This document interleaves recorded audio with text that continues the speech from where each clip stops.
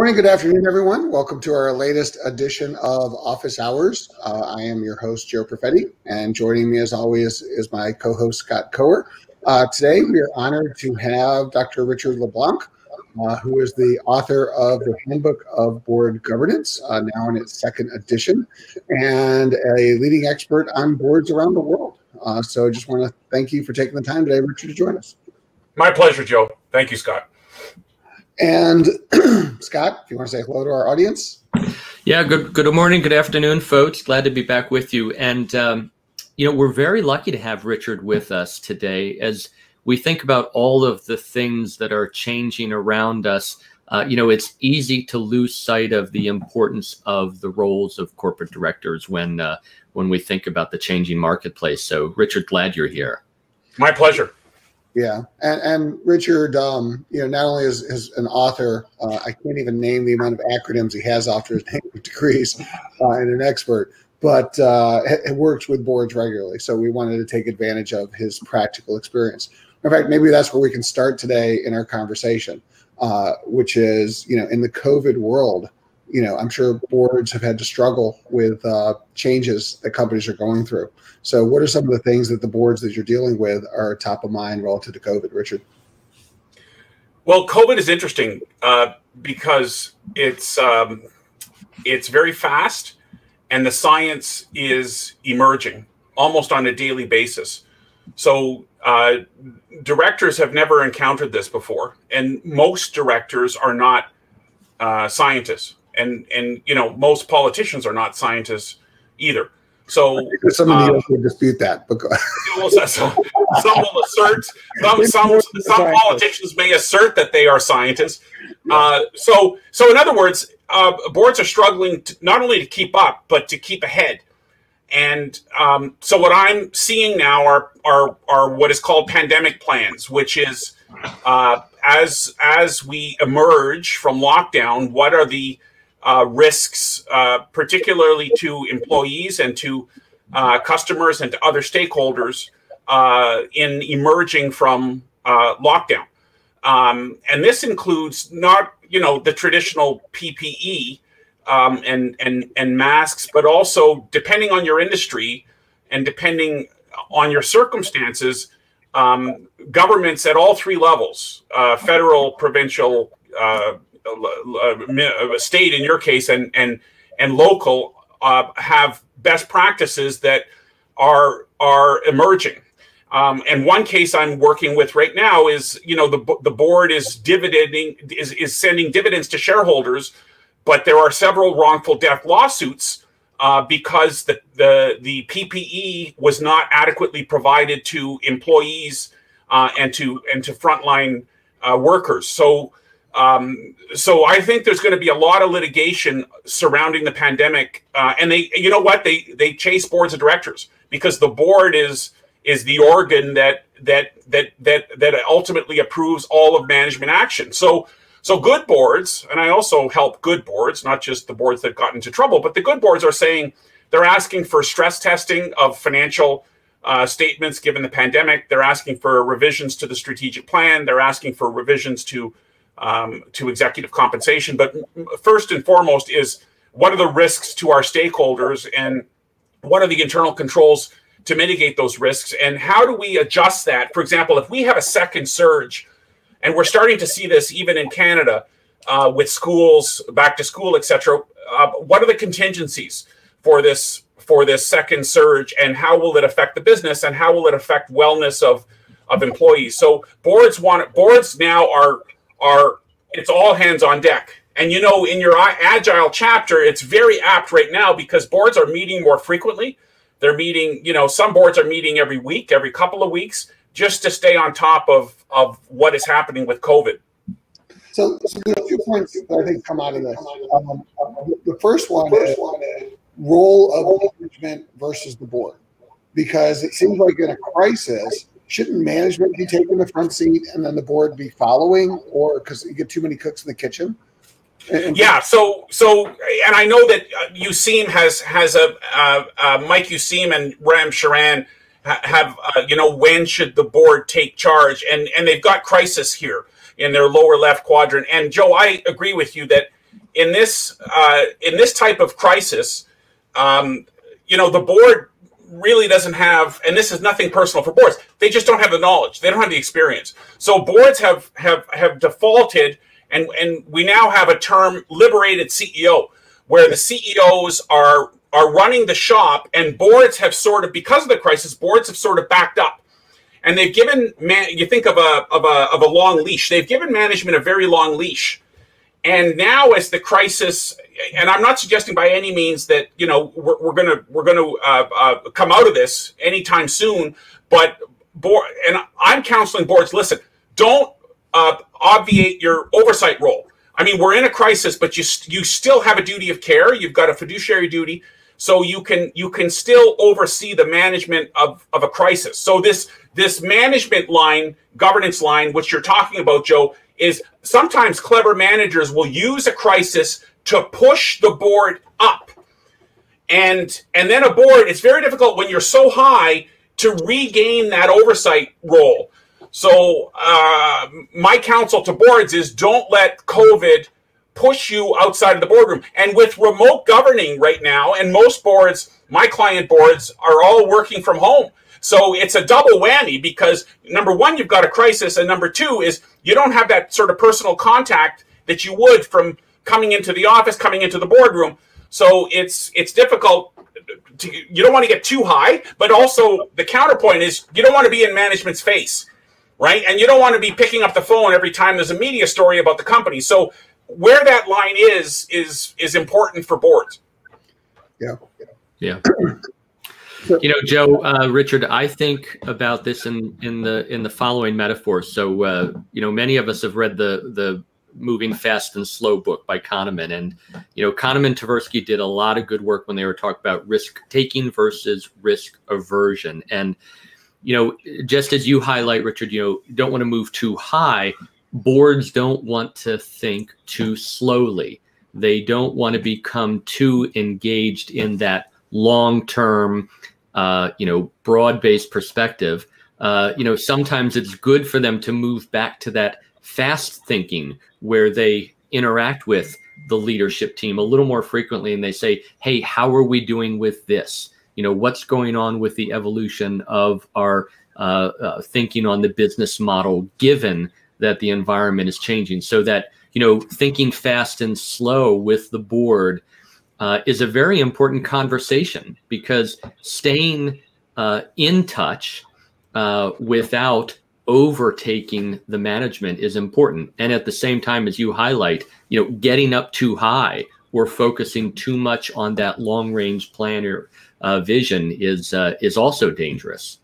Especially if you're in an industry, and I'm thinking of nursing homes and uh, great example uh, um, animal processing uh, in in the U.S. and also nursing homes in the U.S. and in Canada as well. Is it that's all it takes is is a month of of uh, being asleep at the switch, and then you're sued. And I'm I'm and I I when I when a board is sued, I ask for all the documents and I see what the board saw. So then I make the case. I said, listen, you you you saw this. It's almost like a slow moving train wreck. You saw this, but you chose not to act.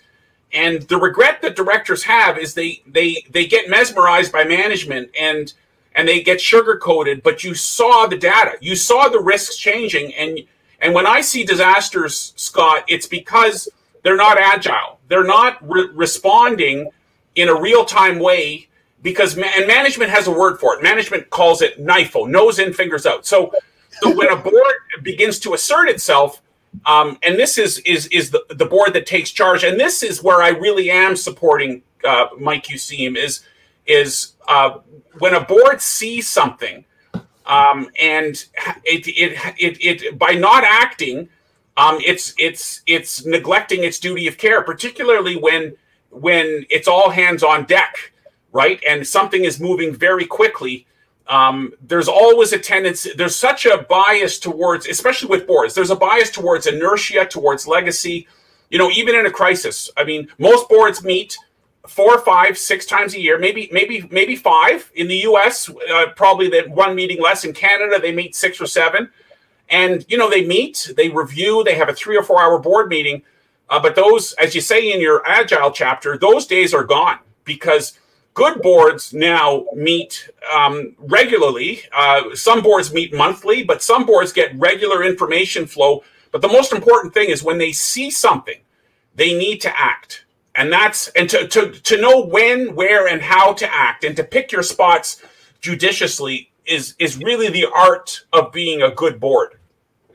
Yeah, yeah, that's a great point. You know, Joe, we talk a lot about the industry of higher education. So, you know, 4,100, 4,200 institutions of higher ed in, in the United States. And although not for profit, they have fiduciary bearing responsibilities. So, your point, Richard, about when you see something act, uh, we've been looking at the various institutions that have performed well and been able to interact with the COVID pandemic in a manner where they haven't had to chew up cash, cash reserves from their endowment, because uh -huh. enrollment naturally will dip. Or the increased costs of having students come back to campus. You know, this is historic for institutions of higher education. And, you know, those institutions doing better, I would argue, are the ones where the boards are holding onto the wheel, engaged, as you said, and very in tune with the leadership of these institutions of higher ed. So let's just you know deal with a practical issue, whether it's higher ed or um, businesses. What do we do about people coming back to the office? Um, what what should the board's role be in that conversation, especially when you see you know people start getting infected in the office, and and you know is that how's that fit into the pandemic plan, and what should their role be? Well, there's um, in New York, there's about 10% are the latest figures. Toronto, it's about 10% as well, 10, maybe 10, 15% of people that are coming back to the office. Um, and I think, uh, you know, when you look at the surveys, the biggest issue that people have is actually the elevators and the social distancing in the elevators. So uh, good, good companies will invest in technology and have uh, contact tracing. Uh, companies, and in fact, the province of Ontario has a separate app um, so that when you begin to open and you stagger, you're looking at staggering shifts. You're looking because we know the science. The science um, is that it is an aerosol-based uh, uh, virus, um, uh, which means it's highly transmissible. And uh, I think working from home for, I mean, we saw, for example, one of the large financial institutions said uh, that they're going to bring, start to bring employees back. Many of the financial institutions in Canada, Bank of Montreal, Bank of Nova Scotia, et cetera, they're, they're, they're, they're banking on uh, almost a permanent work from home with certain functions that have to be hybrid, where they come into the office for certain meetings but the office itself is transforming uh, uh, uh, itself. Um, so the use of technology, the use of uh, staggered shifts, the use of PPE in the workplace, uh, uh, you know, maintaining social distancing, and I think you know Scott's point about higher ed. they actually have a, a jump on the businesses because higher ed has already started and it's and, and I agree with Scott. It's not a matter of throwing cash at this. There's a way to thread the needle and in the dance phase where you've got a hybrid and you've got students that are distanced um, and you're you're thinking creatively uh, about it um, and you you can achieve for example university of toronto is is open for business um, and my university york university is not um, and those are the two major universities in toronto so so some universities are open uh, they're educating uh, the students uh, they're they're reacting very swiftly to any uh, breakouts. They've got contact uh, tracing. They've got treatment. Um, they've got isolation uh, abilities for for outbreaks. Um, there there's full disclosure by by the by the schools, by the universities. Uh, there's regular briefings by the politicians. Um, so I think it is possible to to to reopen with strong board oversight. But in the middle of all that, and I'll just be very specific to my students at the University of Maryland, um, without giving any, you know, HIPAA stuff away. You know, we, we're dealing with infections on campus, and there's a lot of stress. There's a lot of stress by the faculty. There's a lot of stress by the administrative staff, and and actually something I underestimated. There's a lot of stress by my students. My yeah. students are just so stressed out, even with the assignments. It's a different world than they were. Yeah, um, uh, you know, six months ago. Uh, and, and it's just not something you realize how much stress people are under when they're trying to do all this. It, it, it's actually more than that, Joe. It's it's significant anxiety and depression um, yeah. By a number of uh, uh, companies and individuals by, because of the work from home environment. And we're all social beings. So, you know, good boards now are asking for wellness. And this is your second topic wellness checks uh, for yeah. employees and for and for customers and stakeholders in fact, in Canada now, we our fiduciary duty changed last year that boards of directors actually have an affirmative obligation for employee wellness. So we're I'm starting to see questions in boardrooms about the mental health of employees and and about uh, you know outreach, regular outreach to employees, and having services available.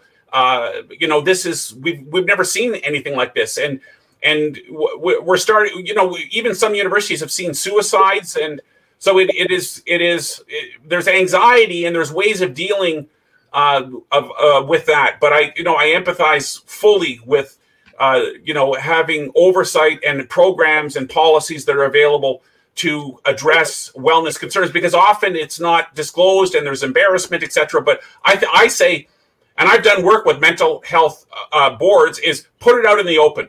You know, there's there's substance abuse, there's there's issues that have become really acute during the pandemic, and it's okay. It's not okay not to ask, and it's not okay to pretend it doesn't exist. It exists. So, let me ask you: Is this then a board committee? Is this part of a dashboard? Like, how are they tracking this? Is this just a simple one-time presentation? What are you seeing? No, no. This is this is, and this brings us into to the to the topic of ESG. This is this ESG, and for, for the for the viewers, ESG is environment, social, governance. This is there's always there's been three traditional committees on a board. There's been an audit committee, a pay committee, and a governance and nominating committee. The audit committee looks at the numbers, uh, the the financial reporting, and the risks. The pay committee looks at your CEO succession, what you're paying your CEO, and the nominating and governance committee looks at getting people onto the board, orienting them, and then getting them off of the board. Well, we know, for example, that the majority of a company's value is non-financial. So, so ESG prior to the pandemic, ESG has always been second shrift. In other words, it's always not been taken as seriously as the other committees. I am beginning to see now, because of the pandemic, and I look at this as the third movement. The first movement was Enron. The second governance movement was the financial crisis in 2008. The third one is what we're going through right now, which is the pandemic. I'm starting to see fourth committees uh, or or ESG being brought into either the governance committee or the HR uh, committee. I'm starting to see ESG get get the board attention that it deserves. Um, so ESG is taken very seriously by good boards. It's also beginning to mature and to be quantified and to be and to be attended to because without attention at the board level it sort of doesn't get managed right we're seeing for example black lives matter targeted a hospital a major canadian hospital uh, two days ago sunnybrook um, I got a I got an email from a board chair a week ago saying that all the directors have gotten a letter from uh, from uh, uh, black and Latino people in the workplace alleging uh, uh, bullying and toxicity uh, and racism. So we we see, for example, boards that are saying, "Well, hang on a second here. What what are is this happening in our company? And and what what policies and, and practices do we have in place that's enabling this to happen?" right? So, so we even see with Rio Tinto, for example, the resignation or the firing of a CEO for for uh, for for uh, not taking indigenous uh, uh rights uh, of land uh, seriously. So ESG is is front and center, not just now because of the pandemic, but I think it'll be front and center for the next ten years. Yeah, and just to add, add on to what um, this is actually a screenshot from Bloomberg. And uh, Bloomberg, uh, which is the pro tool for the investment industry, actually has created the ESG scorecard, uh, which companies are managed on. And this is Rio's scorecard. And, and they actually are starting to develop metrics. Uh, so, again, in the financial community, we're looking at this well because mutual funds are increasingly making ESG investment choices. Uh, and if you are not, you know, responsible and sustainable, uh, you actually may not fit their investment criteria going forward. So there is a financial element to this as well, yes. which is is to the forefront. But it's interesting to see how, as, as you mentioned with Rio Tinto, how it went so far to the point that they said, look, you know, we're going to be, you know, socially responsible here. And if you go and violate the rights of people, you can't be part of the company anymore. Yeah. And that's a big move for an environmental space, particularly for the company. Yes, yes.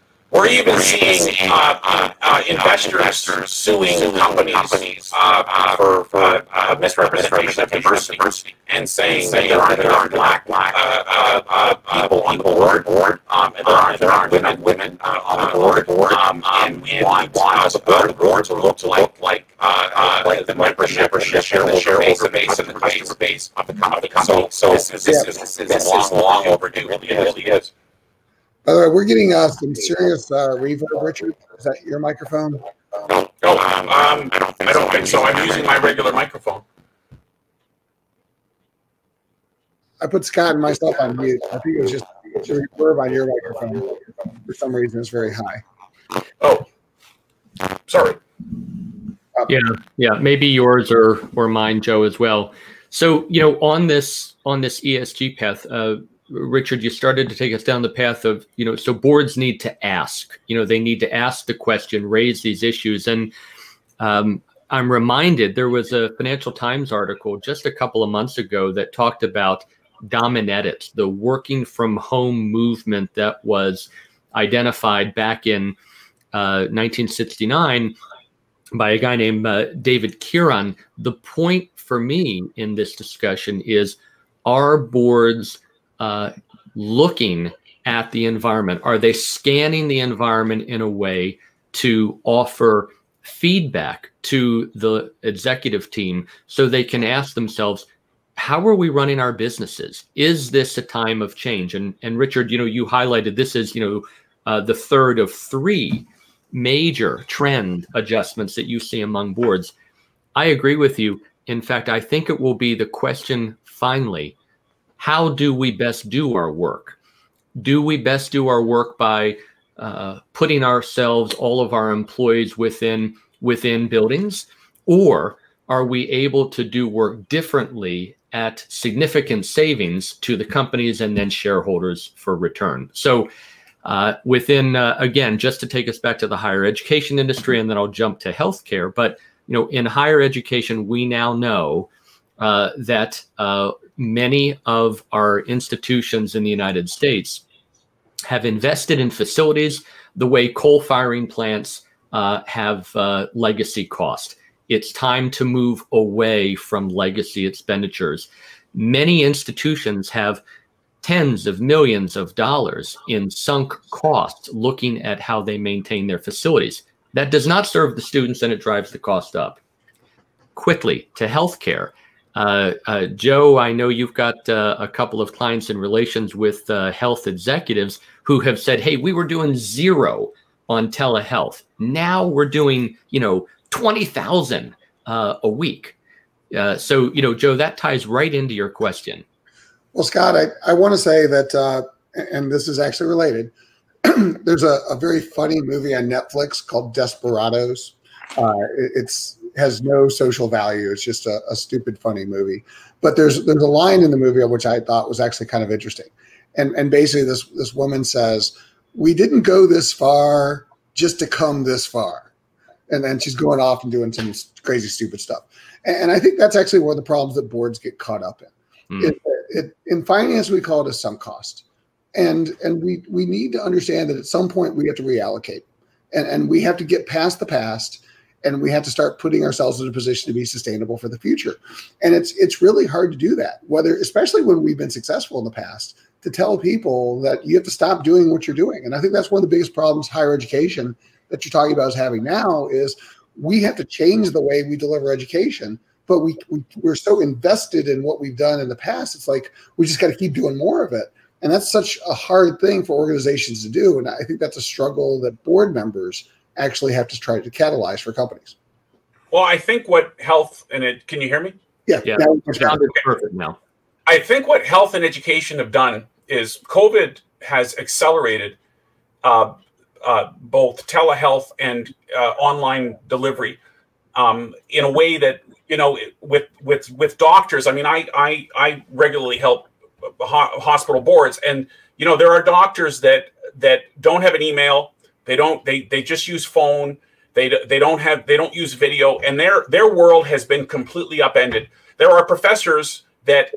I mean, I'm working with full time colleagues that have never used video before you know have never sort of i mean they're not very good on email etc you they have they have been they've we've taken health and education and we've taken it from 2020 and we've probably pushed it ahead uh, 10 years and when you look at the bricks and mortar uh, for both health and education that scott has been talking about you know the the massive expenditures um, like i know for example my numbers i run a graduate program my numbers I, i'm now drawing students from all over the world. I've got students from from africa from pakistan from china. They don't have to hop on planes. They don't have to rent apartments in toronto you know. So so i think this is the future. And there's data that when you have a significant economic event a recession a depression a pandemic is the change is permanent so i think health and education are going to lead the way for businesses they really are and and i and and the nice thing about covid if there is a nice thing and there isn't but the one nice thing is it's really caused the necessary technological change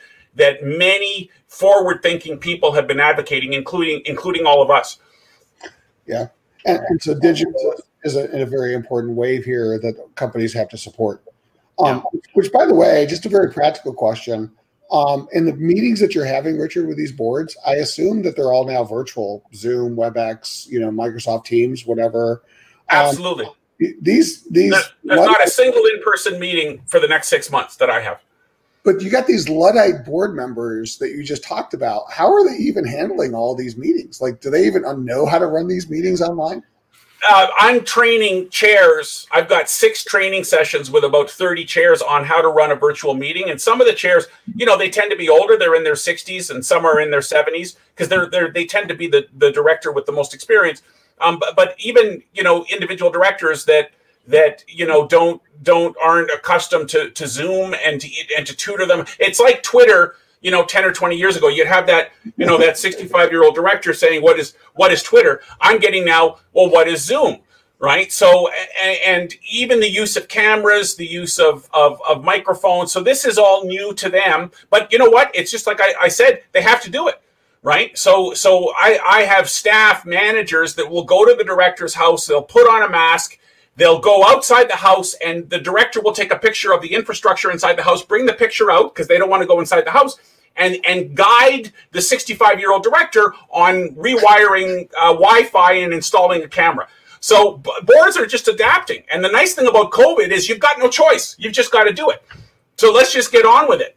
So I don't think, for example, that there that that boards are necessarily going to go back to I mean, the in person, fine, but I predict that there's going to be a hybrid, right? There's going to be some meetings that will be virtual, some meetings that will be in person. It depends on the nature of the meeting. So, so again, just what's um what's are like top two or three tips that you're giving people for running these online meetings? What are you telling these board chairs? Is less is more. Uh, you cannot have a, a, a, three or four hour meeting. It's the same as a class, right? I, I can lecture for three hours. A board chair can chair a meeting for three hours, but you can't do it on Zoom. On Zoom, on virtual, on vi- video, less is more. So take take 50 minutes and then take a, a, a break of 10, 15 minutes and then do the second half of the meeting and be very judicious in terms of your agenda, your information flow.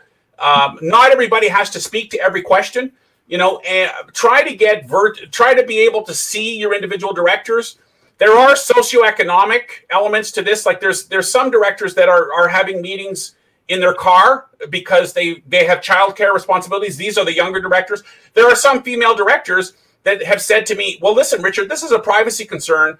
I don't want my stuff, right, visual to my colleagues." right so so they they have the the zoom background and and men have this too so i think there's a bit of learning pain uh, uh, pausing you know, pa- pausing, asking a question, and being comfortable with that one minute of silence while people are processing this. Uh, trying to recognize the visual cues using chat rooms, etc., and emojis. All this is uh, all this is happening, and you know, people, directors are adapting. It's not how old you are; it's your it's your mental mindset. Is it, it, that, that's really all of it. You know, Yeah, Richard, what are you saying? Go ahead. Well, I'm saying just capitalize on a point Richard's making. So I'm seeing an opportunity for those experienced board members, if they can at least keep pace with what you're describing, Richard. I think that their value can be enhanced. For instance, you know, asking those difficult questions about, hey, look, what are the what are the models that we're entrenched in that we can evolve at this time? You know how do we move away from further investment in those sunk costs? Uh, you know the deferred maintenance for major institutions of higher education in america is you know hundreds of millions of dollars. Uh, there's there's a um, uh, a, a major uh, uh, research one uh, university that I've done some work with, and their, their deferred maintenance is larger than their operating budget. That's difficult to catch up on it may never be caught up on you know so they're constantly in a state of building and investing in you know these metaphorically speaking coal firing plants Yeah. so those so those experienced directors that you're talking about if they can you know have maintenance to just stay as current as possible they don't have to lead in technology but if they can stay in the game they're likely to ask some of those better questions that you're highlighting richard about you know how do you remain diligent as a board member during the crisis By the way, I do have one other follow up for Richard and you, Scott. Um, I notice when I'm doing training for very senior level of executives in Zoom and other things, they are actually more hesitant to say things in an online forum that they would have in a classroom because they're worried it's being recorded and broadcast to the world. Is that affecting these board conversations? it's chilling because you never record a conversation uh, unless, like in some states, it's illegal.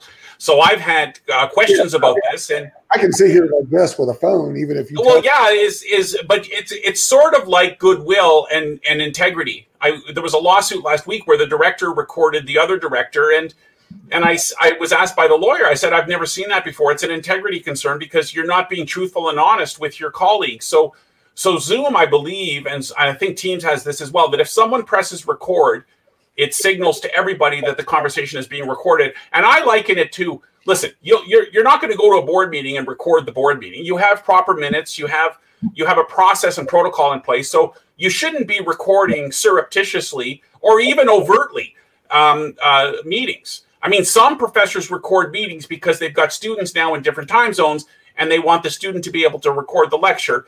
But for, for boardrooms, it's it, it's it's highly problematic behavior if someone records surreptitiously or even overtly. Uh, but so it's just not. It shouldn't be. It shouldn't happen. Yeah. Yeah. Scott. Agreed. Agreed. In fact, it, it can't happen because I think it undermines the value of having this independent advice, you know, this independent counsel. And yeah, absolutely right. Um, we've we've had um, uh, you know the tech team comes in and they uh, set up Zoom in a uniform manner in the organization so it cannot be surreptitiously recorded. Uh, so yeah, I think that's important. But you know, those safeguards put in place are part of the diligence, you know, of operating effectively, you know, as a corporation, as a board in these unprecedented times. Well, actually, the other thing that both of you highlighted was the notion of uh, I'll call it diversity, because Richard, you made the comment about you know how female colleagues are worried about you know how the backgrounds are perceived or, or things of that nature. So, how has diversity changed because of COVID or recent times in terms of being on the board's minds? Mm. Well, we know, for example, that diverse boards mitigate groupthink, and groupthink is when a group of homogenous people will prematurely agree and might make a, a, a, a catastrophic decision because it, emotionally their their interlocks, their social relatedness disincents them from from asking tough questions and disagreeing. And diverse candidates, uh, whether it be ethnicity, gender, um, I'm, I'm starting now to see uh, LGBT, in, including in California. There's there's a bill that's coming through for uh, quotas uh, on on on boards, in New Jersey as well to um, uh, to bring forth diverse candidates um, so that the conversation will change. Because diverse candidates tend not to have the pre-existing interlocks, and they will they will mitigate groupthink. So We know, for example, that diverse boards make they're harder to manage because you've got diverse candidates, but they're they make better decisions. But I think what COVID has done, and and and this goes back to the racial issues that and the systemic discrimination that is present in the United States and in Canada, and and the police, uh, the dreadful police killings of unarmed black people, um, is now reaching boardrooms, and we've got um, uh, African American and African Canadian and Indo Canadian and Asian Canadian have have said to me, particularly the males that the gender, Richard, has, and this is pre COVID, the emphasis on gender diversity has left us marginalized. And the focus has, all, has, has, has been primarily on 30 or 40% women on boards. So, what Black Lives Matter has done is it's brought ethnicity uh, front and center so that, that it is true diversity. It's not just gender, but it's, it's also uh, race. And we're starting to see uh, shaming of companies, as we saw in the gender diversity movement about 10 years ago. We're starting to see shaming of companies that, that don't have enough uh, non Caucasian uh, richness uh, on, on their board. Um, and I think that that's a good thing. Uh, we're even looking at um, management teams and, and the talent process in the company that might disincent uh, people from continuing, and you might have a talent flight lower down of diverse candidates. So, so boards are putting this on their on their radar, and they're and and and I think that that's probably a good thing. That's a, definitely a good thing. Yeah, you know, Richard, I have a question for you. I, I agree with you uh, on this point. Do you think that there is a way that boards can play a systemic role in helping us find our way through this systemic historic racism to help companies ensure that they don't react, that they don't just, you know, take a, a shotgun approach and go out and try to find people of difference to add to their boards, but rather form a more systemic approach so that it can be thoughtful, not episodic, and you know, not short term. Uh, do you think there's any opportunity there? Yeah, boards are looking at systemic uh, structure and promotion and um, treatment within their own companies that and and implied biases that uh, and adverse discrimination that might not be deliberate. Well, the certainly deliberate is is is, is but employee surveys, auditing of culture, yeah. um, diversity and inclusive practices um, uh, the auditing of that, um, the the effects of individuals right from the hire stage all the way through to the most senior uh, officers for systemic and, and systemic is getting a sort of it's it, it's not intended to be negative. It's anything that is said and done in the company that might not be intentional but might be the result of cognitive or perceptual or, or some sort of shortcoming or some legacy policy. For example good good ESG committees, and this is back to Joe's point, good ESG committees will say, listen, we need to look at this because we don't want to be on the it's not that you don't want to be on the news, but you, we genuinely care, right? If people are unhappy in the workplace, we don't have a productive company. So we need we need to look at this. So I think what Black Lives Matter has done is is it's it's said to boards inside the company, what are we doing? And they're asking these sorts of questions about talent management. Um, and we know, for example, when the work we've done together with mutual clients, the three of us, talent management tends to happen when you have female, a, a, strong female presence in the CEO suite. And we saw that with a recent appointment this week of, of Citibank and in senior management because the right questions get asked. I mean, I ask these questions because I'm, I'm a researcher, but if you're sort of a 65 and i'm not painting with a broad brush but if you're a 65 year old man you're not you're not this is not your experience. So it comes from from the right people in the right positions and even hiring of chief diversity officers in in in institutions to look at this systemic structures that scott was speaking to is is a really good idea. Yeah. You know i'm glad you mentioned chief diversity officer and joe i'll yield to you in just a moment but not only is that a position that I think boards should be prepared to interact with, but it also ties in, Richard, to your research around, you know, board composition matrices. I know you've done research, you know, globally on this topic. and that's where I was, uh, you know, pointing to when I was thinking about, you know, a systemic interactive, interactive being operative versus a reactive or preactive, you know, approach to try to fix something. This isn't about a fix. This is about getting better. Uh, uh, perfect. Well said. My only thought is I have a challenge with a chief diversity officer role. And, and, and here's my challenge. Um, a long time ago, we I was working for a tech company and we hired somebody to be QA. And and our QA quality got worse. and the reason why is because everybody assumed that it was the QA's responsibility to QA everything. And so people stopped worrying about quality because it's like, oh, the QA person will get it. And, right. and, in a way, I worry that when we put these chief diversity officers in place. So again, I'm, I'm not opposed to diversity. I'll be very clear about yeah. that but it's almost like are we abdicating the responsibility that it's like somebody else's job to make this a more diverse organization and, and, well, and it's almost like it's it's got to be embedded throughout the whole right company. but but joe i liken it to do you remember in business schools around 10 or 20 years ago we we we started using business ethics courses and then and then there's a faculty member like joe that would put up his hand and say well hang on a second business ethics should be embedded in every single course yeah. and the and the business ethics proponents said you're absolutely right.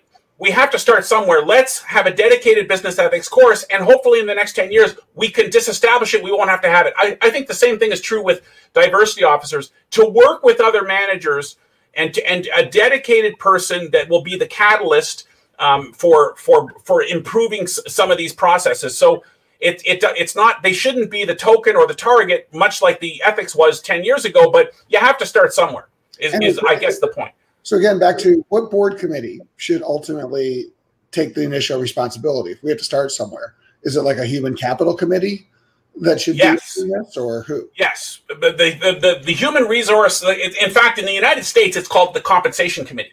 Yeah. So it, it's always had a bias towards what are we paying our people.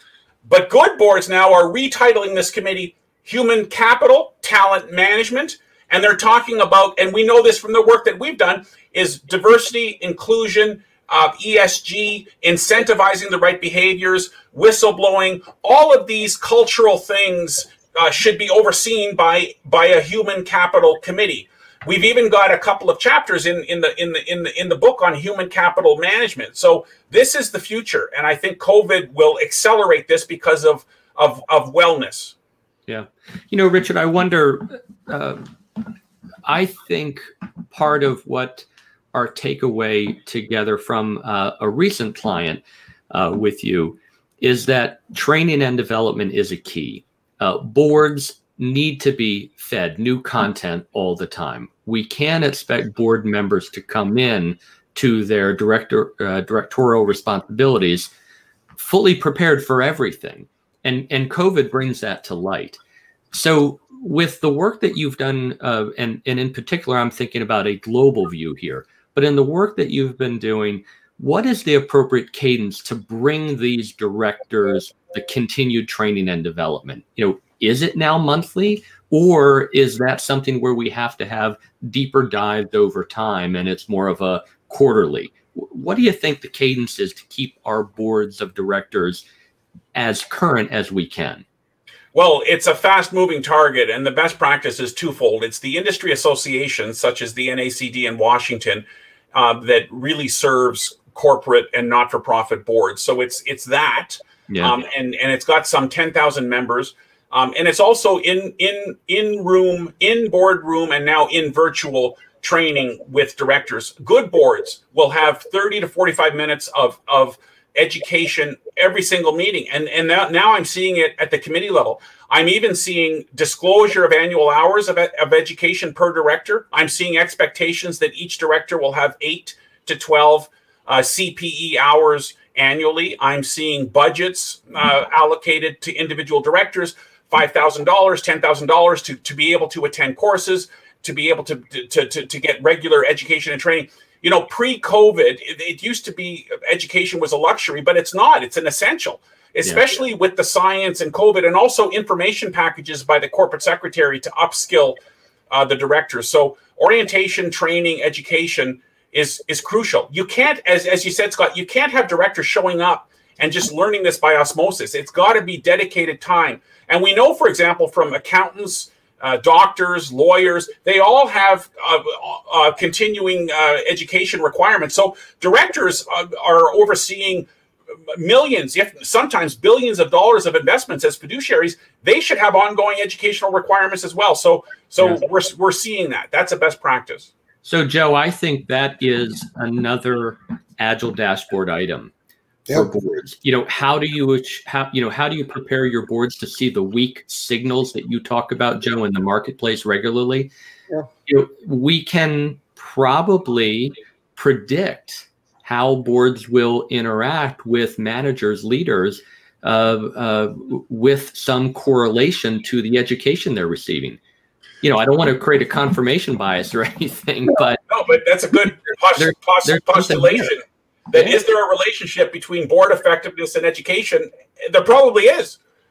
Well, I mean, we, would you bring up or both bring up a really good point that we're expecting these leaders to be able to, just as an example, look out in the marketplace, understand the changes in the market. Well, whoever taught somebody how to do that? You know, just just telling somebody go look out in the marketplace, and they don't really have any skill set to do this, or back to analyze, interpret statements. They've never been, you know, exposed to these statements. Yeah. I, I, think it makes a lot more sense to to kind of educate the board. As a matter of fact, I assume when we do succession planning, boards probably don't do secessions for themselves, do they? Richard, have you ever run into boards that actually do succession play outside of a board chair? Do they think about succession like who my future board members are going to be? And kind of groom them?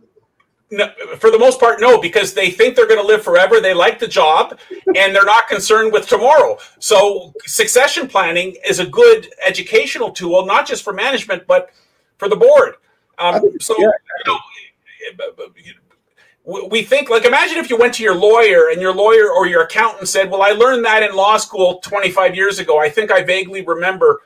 It's the same with directors, right? You've got to be on top of things and you've got to be current. And and you can't you don't get that from from the run of the mill meetings. You get that from applied training that uh, and it can only it can't harm it can only help. So it's uh, it really is a nascent industry uh, that is often overlooked by so so we've enjoyed work together by and it's only been you know of, various boards but this needs to be addressed system wide and I think the time has come for certain standards for fiduciaries on boards of directors to have a minimal education component, not a you know maximum, but some sort of dedicated number of hours or exposure or training, so that uh, you you you continue to keep up with the pace of change. Yeah, absolutely right. And and in fact, I can again back to higher education. You know, six hundred and fifty billion dollar industry in America per year 4,200 traditional colleges and universities. And board members are often cultivated based upon their philanthropy with the institution rather than any particular skill set that they will bring. Uh-huh. And I've been involved with a number of fine, fine institutions that have found themselves trapped in this model that is broken, but you know, continually optimized when you think about what do you need a board member, a director of an institution of higher education to be able to understand? Well, they need to be thinking about the future of work. They need to be thinking about the industry of higher education. They need to be thinking about executive comp, executive succession. They need to be thinking about the things, Richard, that you're highlighting are so important to receive that education on. But that minimum threshold, you know, we, we're all familiar with AGB, the Association of Governing Boards, which is one of the, you know, more dominant authorities in the higher ed industry. We got to get on this seriously.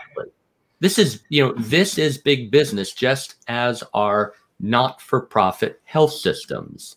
Yeah. How, you know, how those boards of directors form. the practical part, because, and we, I'd be careful on how much we say, because we all have some experience with this. But yes. when you actually try and assess the actual board members, they don't like it. No, I was just going to say to Scott, like if I donated all this money and yeah. you invite me onto the board, and first of all, I'm not sure that that should happen, yeah. right? Um, yeah. And secondly, let's assume I come onto the board and now I'm going to undergo a competency assessment. about what I'm good at and what I'm not good at. I'm I, and this is a voluntary board. Health and education are voluntary. You don't get paid. So let me let me have this straight: is that I I give you money, you bring me onto the board, and now you're going to begin to assess my competencies. Is that is that the deal? Right. Yeah. So there's an inherent aversion to yeah. the assessment, but you know. Uh, we have peer assessment in medicine. We've got it in accounting. We've got it in law and it's not as onerous. It's everybody's good at something and not good at other things. You know, you might have an accountant that, that can read a balance sheet but doesn't know about cybersecurity. You might have a CIO that can't read a balance sheet. You've got a balance of skills, and we know from the work that we've done with healthcare organizations, it is entirely appropriate to have to have a, a skilled based recruitment, not a, a, a donation. I mean, you can you can inc- include donations, but the driver really should be the competencies for health and education. Yeah. Yeah. Yeah. But I mean, as a board, it's got to be know thyself. And, and, so many boards, I don't think they know themselves. And, and that's a problem. Yeah. Yeah. Really important point. Really important point. And uh, Richard, just to just to you know try to close that loop. So uh, not only then do we bring a board member on based upon something, and these are all good people. Uh, but we bring them on, and then all of a sudden, typically, they're then responsible for the evaluation of the CEO, of which they may not be prepared to do. but uh, you know, so these things are sort of confounding. And to your point, you know, this is still nascent. This is you know, this is emergent, and we're still finding the best practices that are yet to come. Hey, you're Scott. You nailed it. The number one job of the board is to hire, fire, and assess and pay the CEO. And I can't tell you countless boards, including publicly traded companies, hospitals, universities, that they don't evaluate the CEO because they've they've never been trained to do so and they don't know what should be in a contract. They don't even a CEO contract, right? Is that I've had CEOs draft their own contract and the board has signed on to it. Uh, and, and, then they get into trouble three or four years later when the CEO is underperforming or you're trying to fire the CEO, not even getting basic legal advice on the contract or even how to assess the CEO. So it, it defaults, and the CEO doesn't want to be assessed in any rigorous way. So it defaults into a, a, a sort of pro forma oral discussion, right? On, and these are major boards, right? So even education on your basic roles and responsibilities as a director is is only helpful. It's only helpful. Yeah, yeah, and of course, in a crisis like a global pandemic, uh, you know, time seems to shrink, and that interaction, you know, the shortening of the interaction cycle time that we're all referring to, but now, uh, you know, naming here, uh, does mean, as you highlighted at the start of the discussion, Richard, that uh, you know boards are speaking with leadership teams much more frequently. Uh, you know, they're touching base, they're checking in on issues, they're helping executive team, the best boards, ask the right questions so that we don't find ourselves optimizing these historic models or broken models. Yeah, I've got uh, two or three chapters in my book on CEO succession and CEO pay just because it's so important. Um, and, and getting exposure, as Scott said, to high potential talent and having an emergency CEO succession plan, a permanent, and what what that should look like, and mentoring of senior talent, and whether they're becoming CEO ready. This is all not only vital; it's the most important thing the board does. You can get everything in my book right, and if you don't get your selection of CEO right, you're dead. You can get you can you can get everything in my book wrong, but if you got the right CEO and you've selected them properly, you're gold. So hiring, firing, and paying the CEO. In fact, Stanford University said the average board spends two hours a year on what we're talking about, and it's their most important role. They spend two hours a year on CEO succession. So it's crucial. It's absolutely crucial to get that right. Yeah. No, that makes that makes so much sense. And so as we come near to the end of our broadcast, you know, this is a, a segment which we call simple rules. And I want to combine it with one of the things that you were just talking about and, and where we started which is you made a reference to uh, Ram Charan and, and Mike Useem and the, the point of, you know, when to lead, when to follow, when to get out of the way. So as we think about simple rules, I'm just going to lightning round. You know, what's sort of the biggest tip that you would say come to mind right now, Richard and Scott? When do you lead? What should boards be doing right now in terms of leadership? One quick, simple rule, top of your mind. Uh, well, maybe I'll go first. Leadership should be uh, the pandemic plan, uh, strategy, and risk. Um, when boards should take charge, uh, should be CEO succession. We talked about that. Um, ethics and integrity, um, and compensation. All right, Scott. Yep, yep. So I'll go back to the comment, the discussion around behavioral health. You know, boards must ask. They must ask the questions that leaders don't necessarily have the time to ask themselves or even remember when they're running the business. You know, great boards ask the questions that need to be asked. When should boards follow right now? What's what should be top of the mind on when they need to take a step back? Uh, when it comes to operational issues um, and delegated authority, and that's all it takes is one director. And frequently, as we know, it tends to be a, a, an industry director or someone with specialized expertise. Boards need to follow and step back and not micromanage and not get into the operations of the organization. That is the number one complaint I have of management teams is is one or two directors that that don't know where that governance versus management light line is. That's crucial. And by the way, a symptom seems to be that if you're having weekly board meetings with all the managers, you know that's way too much. Right. Right. Scott? Yeah, too much. I, I, I agree. I, I can't come up with another one beyond Richard, but but I'll refer back to Kahneman. You know, boards need to be able to think fast and slow. And when thinking fast, they want to stay away from day to day management. When thinking slow, they want to make sure that they're not allowing the organization to slumber into complacency, especially back to when it comes to investing in sunk costs or old or broken business models. No, that's great. And finally, Wendy, out of the way. Uh, my, my previous point about operational issues and management and getting below, getting uh, uh, contacting staff uh, who are direct reports to the CEO is a no-no. That will drive a CEO crazy. You have one employee, and that's the CEO. Yep. yep. Scott. Scott. Yeah, you know, yeah, I, you know, I think about boards getting out of the way when it comes to the customer interface. You know, the oper- operationalization of that customer relationship does not seem to me where the board needs to live. The satisfaction of the customer seems to me where boards need to need to reside. So, you know, get out of the way when we're making the sausage and building that customer intimacy, uh, but ask us about the satisfaction and the value that the customer is receiving. Great. And I'll leave it uh, there as a final word. So I want to thank everybody uh, for your time today. I want to thank everybody that's watching. And if you're looking for more information uh, about uh, any of our guest panelists or authors on the show as well, learningcommunities.com, uh, please check out Richard's book, which is the Handbook of Corporate Board or sorry, Handbook of Board Governance, second edition, Wiley Press, found on Amazon amongst other places. And again, thanks Richard and Scott for your time today. And uh, as I like to say, can't drive a car looking through the rearview mirror. So uh, make sure that uh, you look forward and looking forward to seeing you at our next edition of Office Hours. Everybody, have a good day. Take care, everybody. Bye bye.